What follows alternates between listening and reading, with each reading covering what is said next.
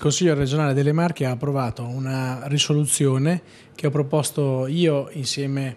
ad altri ed è stata approvata all'unanimità, quindi un bel gesto e un, eh, un passo avanti significativo nell'individuare per le aree colpite dal terremoto eh, l'estensione della zona economica speciale, che significherebbe per tutte quelle aree creare incentivi e defiscalizzazione e eh, semplificazione amministrativa per chi vuole eh, creare insediamenti produttivi e imprese e crediamo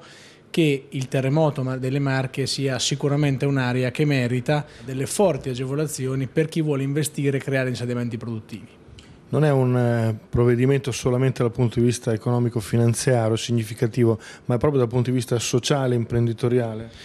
Sì, le imprese eh, in quelle zone fanno molta fatica a ripartire e soprattutto a crearsi di nuove aree industriali e produttive. Riteniamo che un incentivo così importante, tenete conto che nel decreto crescita per le ZES sono già stanziati 300 milioni di euro,